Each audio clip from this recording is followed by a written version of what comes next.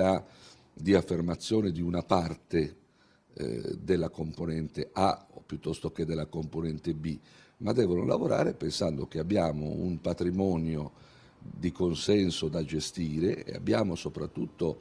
una eredità di problemi da risolvere e di situazioni da difendere. E allora la divisione non serve a nessuno, i cittadini hanno sempre bocciato coloro che hanno lavorato per dividere, e ne abbiamo avuto dimostrazione nel passato, per cui concludendo questo ragionamento io dico che è meglio lavorare per unire ed è meglio lavorare per la città e per l'interesse comune piuttosto che lavorare magari da dietro un muretto a secco per dividere oppure per godere delle divisioni eh, lasciando poi alla gente soffrire dei problemi e, e lasciando l'amarezza nei partiti e la consapevolezza di avere una classe dirigente che non è capace di assolvere il proprio dovere. A proposito di queste sue ultime affermazioni, il, ehm, il, il capogruppo del PDL ha affermato che ehm, le attività del comune verranno bloccate, quindi non si lavorerà più in commissione. E lei che ha sempre improntato la sua politica sul dialogo, come può dialogare con questo, questa spada di Damocle sulla testa in definitiva? Ma eh, vede, io, io lavoro come sindaco tutti i giorni eh, e tutto il giorno. Eh, la giunta lavora con me, gli uffici lavorano perché chiaramente vanno avanti, come si suol dire, a prescindere, perché ci sono tante cose da fare. Un ruolo importante nel sistema politico lo svolgono le commissioni e lo svolge il Consiglio Comunale, che poi è stato e sono stati le commissioni e il Consiglio Comunale demandati a svolgere questo ruolo fondamentale di costruzione anche dell'attività amministrativa, della pianificazione dell'attività amministrativa. Io mh, ho sconsigliato e ho criticato sempre il fatto di ricorrere al blocco dell'attività amministrativa per forzare i, i, tempi di una decisione eh, politica, perché eh, significa intanto mettere in secondo piano gli interessi dei cittadini. E questo è sbagliato a prescindere, perché eh, ci può essere sempre il confronto politico sui temi politici, di assetti, di bilanciamenti, ma senza mortificare l'istituzione consigliare, che è, ripeto,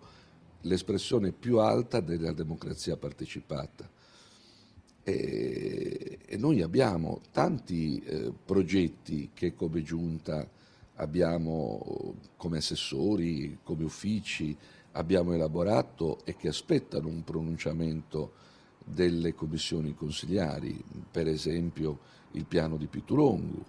eh, per esempio il piano di riqualificazione del centro storico e del centro matrice, eh, per esempio mh, tutto ciò che attiene alle pianificazioni eh,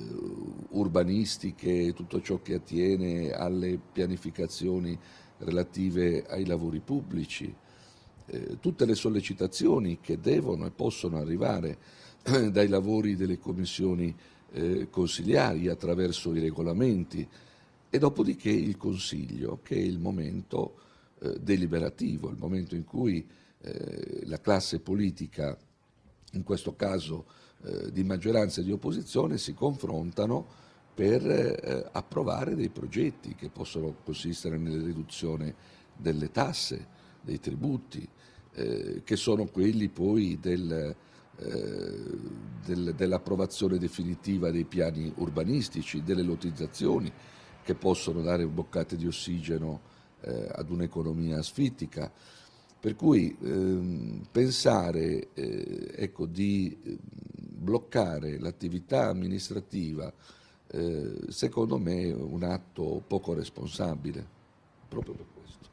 Cambiando argomento, eh, i finanziamenti per l'Aula di Assassari sono scomparsi.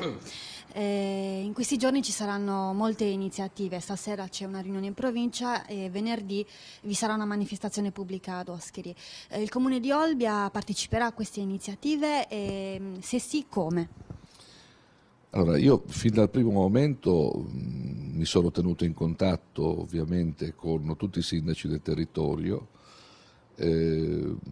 all'indomani della notizia ho preso contatto con i sindaci e fra questi con eh, il sindaco di Oschiri Perinu,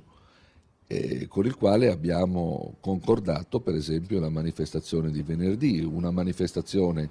che eh, era stata già organizzata nelle settimane, settimane, precedenti e che purtroppo per il cattivo tempo era stata, era stata sospesa.